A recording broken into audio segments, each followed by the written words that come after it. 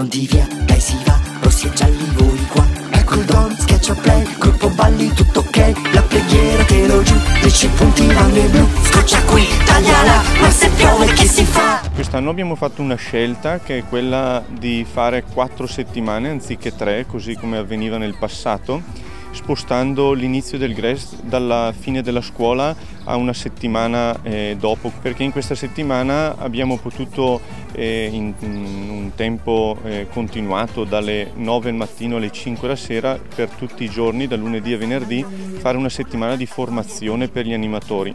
Per me e per coloro che collaborano con me è stato molto importante, sicuramente per aiutare i ragazzi a creare gruppo, creare anche una situazione eh, al meglio per poter fare un servizio non solo aggregativo e sociale ma anche e soprattutto ecclesiale e comunitario per far sì appunto che potessero vivere un'esperienza di chiesa bella e di fraternità bella. Abbiamo anche fatto la scelta di inserire alcune situazioni di volontariato nel pomeriggio dove alcuni di loro, 4 o 5 a volta, si sono impegnati nella Caritas parrocchiale, nel centro diurno che da qualche anno è presente nella comunità di Flero e l'anno scorso, quest'anno non è riuscita la collaborazione, abbiamo fatto del volontariato anche col Matto Grosso. Se non ci lasceremo mai eh, Posso cantarla da sola? Via vai! Via vai di emozioni ed energia Noi animatori ci siamo ritrovati qua in oratorio per fare una settimana di preparazione, per appunto prepararci meglio per affrontare eh, questa, questa sfida e riuscire un po' a calarci nel ruolo di animatori. Questa esperienza l'abbiamo fatta anche per cercare di formare un gruppo animatori che riuscisse a darsi una mano poi nell'esperienza del Grest. Tra- Attraverso il GREST sono riuscito a svolgere delle attività di volontariato tra- presso il centro diurno con eh, delle persone più anziane. Ho giocato con loro un po' a tombola, fa- gli abbiamo fatto fare degli esercizi di riabilitazione, di movimento e abbiamo parlato con loro rompendo un po' la noia.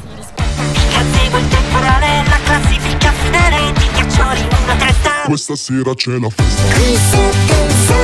Tramite un progetto con la nuvola nel sacco e No One Out si è scelto di introdurre una figura che potesse essere referente per l'inclusione. L'idea è stata quella di eh, rendere il Grest inclusivo sia nei giochi, nelle attività che venivano proposte, con quindi un'attenzione a tutti i bambini con eh, disabilità e unitamente alle proposte dei giochi ehm, ho fatto anche un percorso di formazione con gli animatori. Ogni settimana ci incontravamo con due gruppi e eh, proponevamo dei giochi di ruolo per far sì di empatizzare col vissuto di chi ha una disabilità e unitamente ai giochi di ruolo abbiamo anche pensato proprio dei laboratori da poter proporre a tutto il Grest. In questi incontri che abbiamo fatto noi animatori, oltre a fare eh, dei giochi per, eh, come per esempio il mimo, eh, abbiamo anche eh, ehm, capito cos'era effettivamente eh, la diversità, la disabilità e abbiamo parlato di diverse situazioni che ci capitano giornalmente al GRES. Quindi poi abbiamo proposto a Erika di fare un laboratorio eh, in cui eh, facessimo capire ai bambini eh, cosa fosse effettivamente ehm, quella, ehm, la diversità. E quindi Erika eh, ci ha raccontato di questa storia dell'elefante mh, variopinto Elmer, ehm, che ehm, poi abbiamo fatto vedere eh, il breve video della Pixar ai bambini e poi eh, semplicemente l'abbiamo, ehm, l'abbiamo spiegato. cosa fa un coordinatore di un Grest?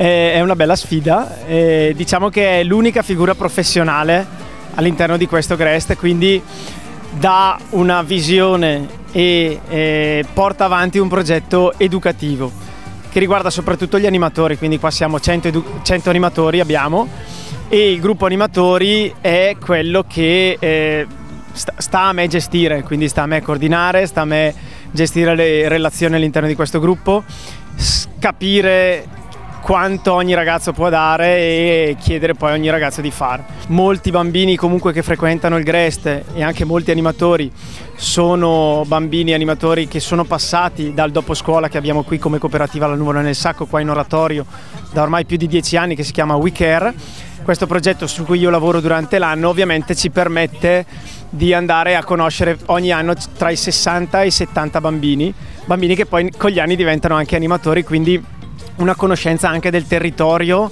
e una conoscenza delle persone che vivono questo oratorio e che vivono il Grest, che è sicuramente una ricchezza. Perché ognuno si rispetta.